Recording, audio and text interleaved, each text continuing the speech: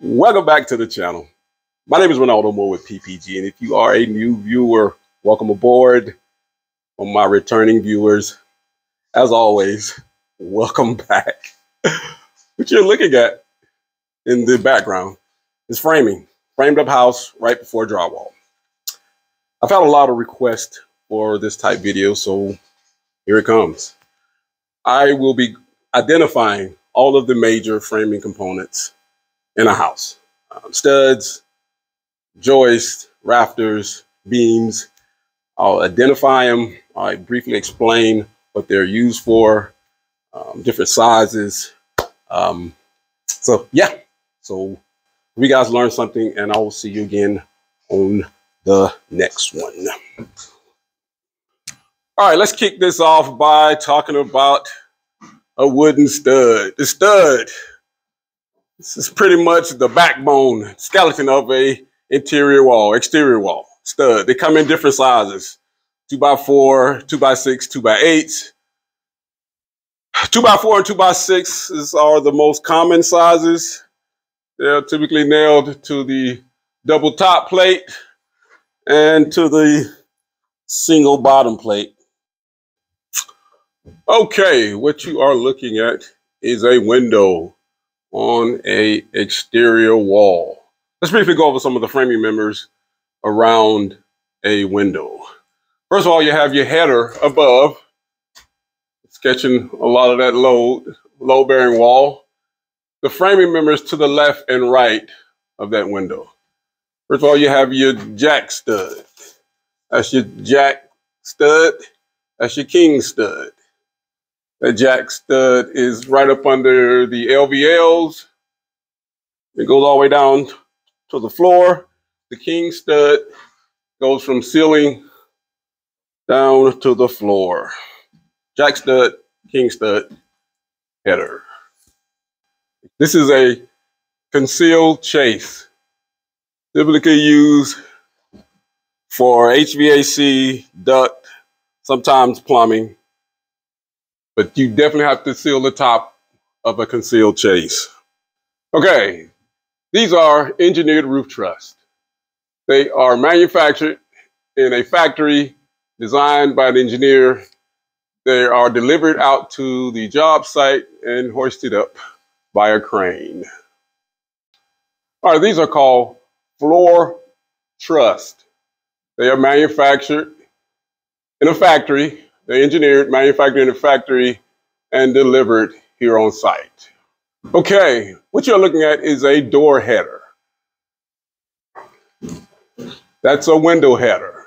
All doors and windows on the exterior wall must have headers above to carry the load of an exterior wall. That is called a double top plate. Typically find those on exterior walls that's a single bottom plate or sill plate. Is OSB. Uh, they all come in different thicknesses, but you typically use it for subflooring, uh, exterior sheathing, for roof sheathing, um, and that is plywood. It also comes in different thicknesses. It's typically used for exterior sheathing, flooring, uh, roof roof sheathing, um, I think plywood is probably a little more, costs a little more than OSB. All right, let's talk about some of the key components as it relates to the roof framing. These pieces, these components are critical. This is the, the skeleton of the roof. You got that ridge beam. That's one that's going horizontal. typically a two by eight, two by 10, could be a two by 12. You got your rafters. These are the rafters going down to the top plate, up to the ridge beam. They're typically two by six, can be two by eight, uh, typically every 16 inches. You can make them every 24 inches. That piece that's attaching to rafters is called a collar tie. Uh, that Howard, that vertical piece, I'm sorry, that's going down. That's typically that's a purlin brace. Uh, it attaches to the ridge beam. It goes down to a low bearing wall or LVL. But this is pretty much the the skeleton of, of the roof framing. Um, critical pieces. And those are called ceiling joist. They're typically about 16 inches on center or maybe 24 inches on center. And these are called floor joist. They range in different sizes, 2 by 8 2 by 10s maybe 2 by 12s They are typically 16 inches on center. Some I've even seen 24 inches on center. And that is a Boca plate. Is used to protect the plumbing vertically. Um, they should extend up a minimum two inches from the bottom plate.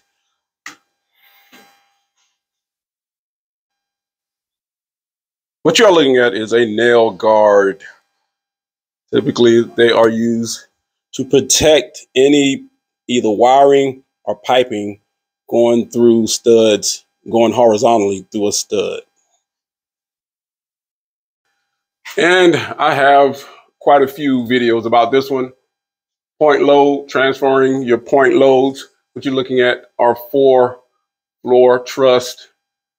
Um, that load is being transferred with look, looks like five studs. So he's transferring his load down to the foundation.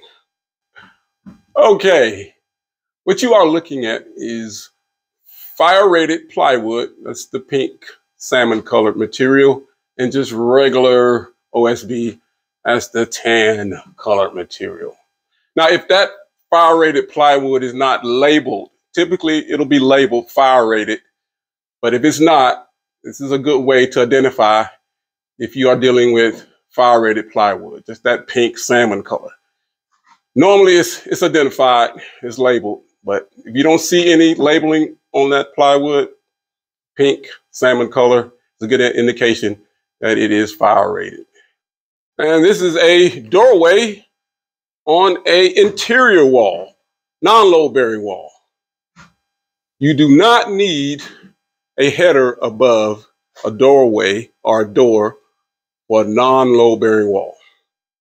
And this is called a sill plate or a bottom plate.